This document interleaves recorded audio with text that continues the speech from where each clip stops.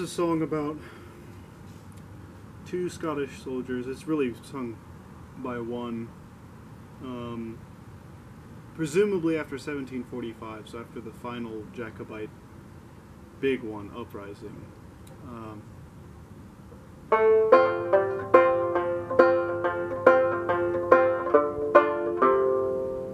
and they're both in uh, imprisoned, you know, because the Jacobites lost.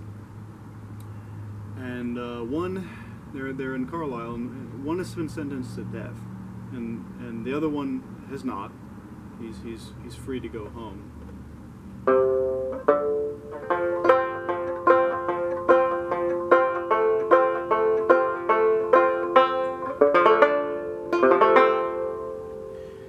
This is sung by the one who's who's been sentenced to death, because in um, in Celtic myth at least, someone dies outside of their homeland, they return there after they die via via the low road, via presumably the underworld. And so he sings about his home in Loch Lomond, and he's singing to his friend.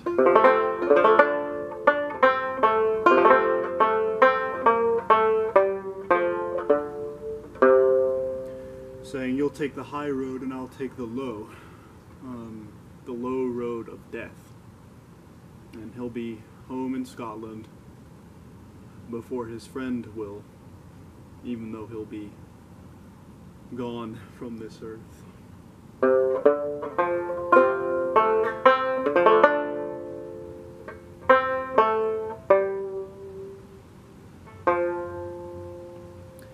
And uh, this is what he's saying.